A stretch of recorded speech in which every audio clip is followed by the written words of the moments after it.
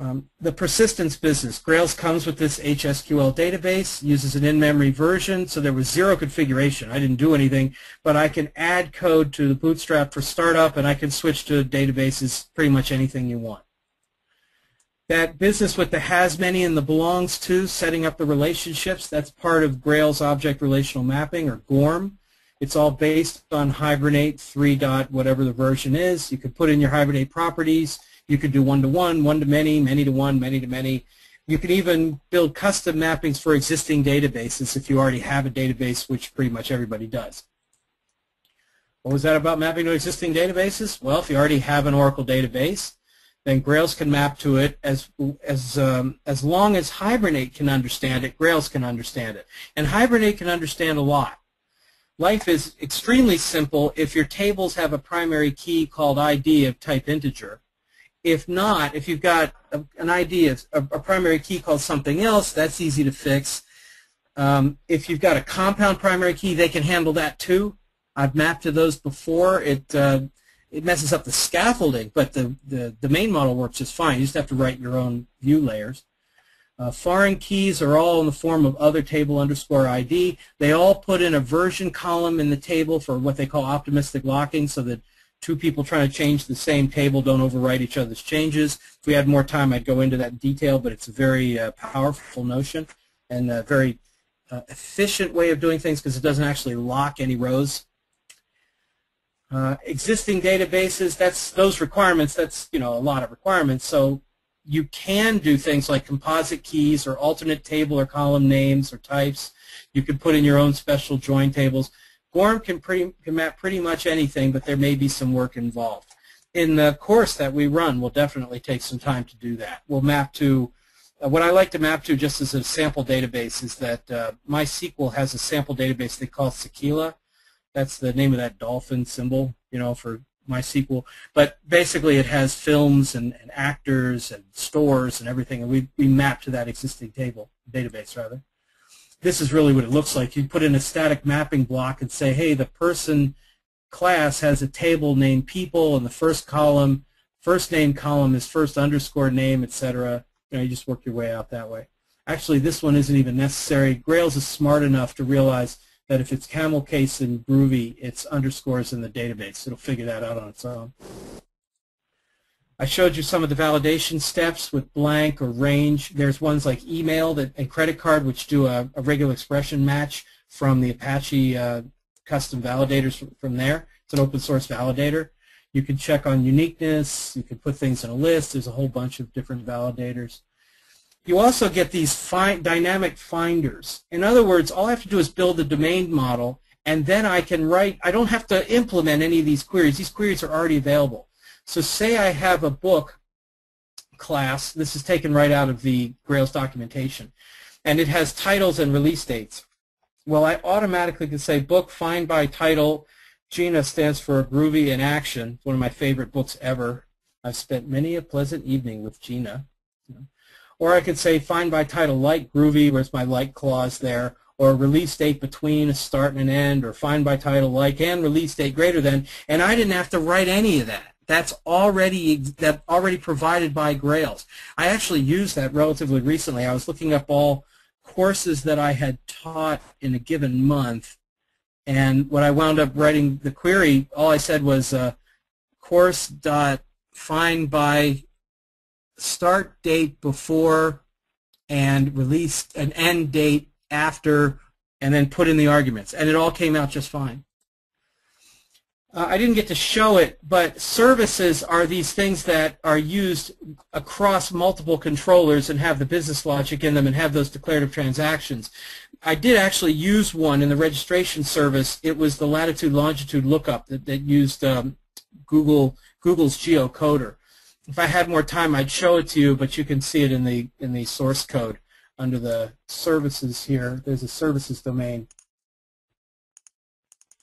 Here's my geocoder service.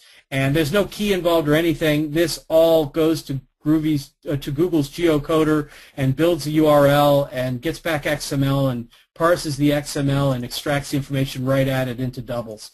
And you know, in about 10 lines of Groovy code, I can do that entire process. Very nice. The view layer is built in what they call Groovy server pages that look like JSPs, but they understand Groovy and they have lots of good libraries available. You can build your own custom tag libraries. There are hundreds of plugins available. I, for this one, I happen to use a plugin called um, Rich UI, which is what included the Google Map. I think I also used a plugin to put in an actual calendar widget rather than the drop downs for the calendar for the dates and times. Uh, so there are tons of plugins. Some of them are good, some of them are eh, not so great. I mean, they're early. A lot of them are very early in their development. Spring Security, for example, or Apache Shiro is another security example. Searchable is very great. You add that in, in one line, you can search your whole domain model. CAPTCHAs and reCAPTCHAs, sending off email, the Quartz scheduling, generating RSS or Atom feeds, uh, charting, web testing, everything. Really good. How do I deploy it? I just run Grails war. I get a war file. I drop it in Tomcat, and I'm running. That's all there is to it. It's very easy. The war file is fairly large because of all the libraries, but it still runs. Lots of testing available. I have uh, test cases in my registration app, which you can have. It's all built in there. All right, so last thing I want to address here is what do you need to know in order to use this stuff? Well, Grails is a combination of Groovy and Spring and Hibernate, although the Spring and Hibernate stuff very well hidden. You will eventually need to understand something about Spring and Hibernate, but you don't really need to know it right away. You're using it, and the more you know about it later, the better off you'll be, but you don't have to know it to get started. Grails is primarily for web apps, and Groovy is based on Java. So if you're already a Java developer, hey, life is simple. You pick up some Groovy, you go into Grails, and you're ready to go. So what happens if you're not an object-oriented developer? You know, so as I said before, Grails hides enough details, so if you do things that Grail wants you to do them, you can stay productive while learning these other things. And what about the long term? Well, if you want to do Grails well, you need to learn Groovy.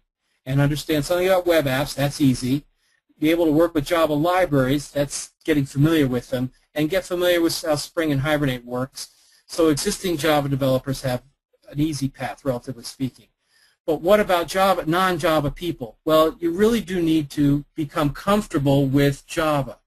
That transition to object-oriented programming can be difficult or time-consuming for some people just because it is a conceptual change. It is a, a different feel for things. That's where the time, the hard part's going to be for most people. If you have any object-oriented background at all, though, then that will be a much easier transition for you. And of course, we have classes and all these things, as you might imagine. Here's some resources. There's the home page for Grails, the reference guide. The Groovy and Grails communities are extremely friendly and welcoming to newcomers, and I participate on the email list there. There's a user list and developer list. Uh, most of the core Groovy and Grails members are on Twitter. Here's the some books on this. The Definitive Guide to Grails, of course, is definitive, and the one that's the real friendly one, this one by Dave Klein called Grails, a Quick Start Guide, will take you and not assume you know anything, will have you up and running very nicely. It's, it's a very friendly book. It just doesn't have all the answers, but it's a very easy one to read. Uh, Dave Klein's a good friend, and he's a very nice guy. Uh, I recommend it. This Getting Started with Grails is actually a free download. If you go to InfoQ and you search on this, you have to register, but you can download this, this book uh, and just start reading in a PDF form. I have to mention, of course, Manning has a Grails in Action book, which is also excellent. Uh, Glen Smith and Peter Ledbrook wrote that. And I think that's it. So I, I, did go a little bit over, but I will be happy to hang out for a few minutes and answer questions that you might have. Uh, as I mentioned, these slides will all be available to you as soon as possible, and I'll also make sure that you can have that uh, registration code. So if there's anything else, uh, I, as I say, I'll be happy to hang around but that's the stuff I wanted to get through uh, during the webinar.